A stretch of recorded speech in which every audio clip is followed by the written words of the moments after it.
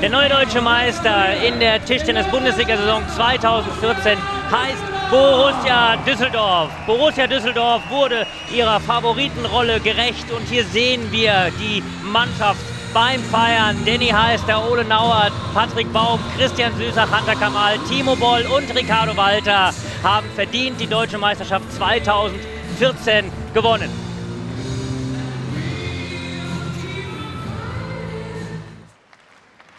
Hier sehen wir Timo Boll gegen Rufen Filus. Und gleich den ersten Matchball kann er hier nutzen und fuhr standesgemäß die 1 zu 0 Führung für die Mannschaft aus Borussia Düsseldorf ein.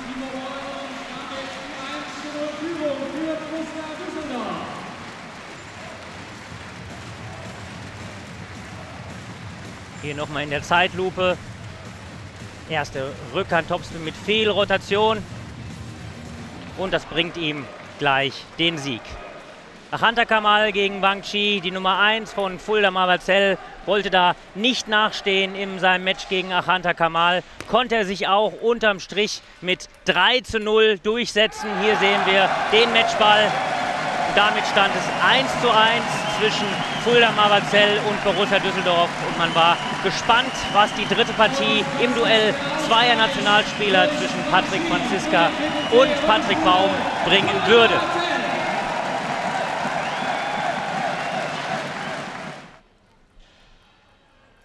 Hier Patrick Baum beim Aufschlag gegen Patrick Franziska.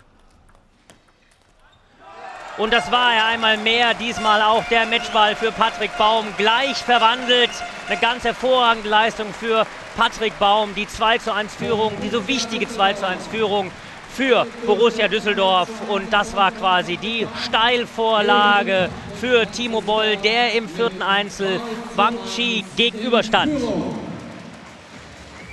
Und Patrick Baum hier mit einem zufriedenen Gesichtsausdruck, der hier die 2 zu 1 Führung für Borussia Düsseldorf sicherte.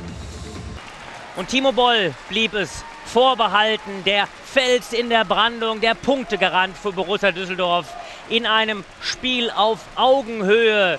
Fuldas Nummer 1, Wang Chi, niederzuringen, niederzukämpfen. Die beiden schenkten sich nichts in diesen drei Gewinnsätzen.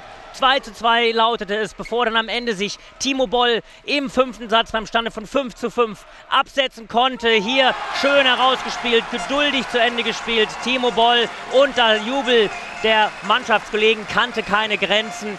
Borussia Düsseldorf unterm Strich verdient deutscher Mannschaftsmeister. Gratulation auch an Fulda Marberzell und an über 3000 Zuschauer in der Fraport Arena in Frankfurt, die tollen Tischtennissport geboten haben.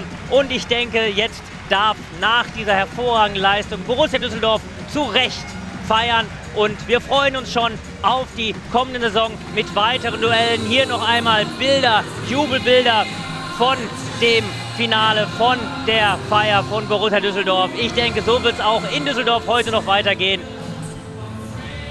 Mir hat es Spaß gemacht, heute für Sie zu kommentieren. Ich bin Richard Brause. Bis zum nächsten Mal.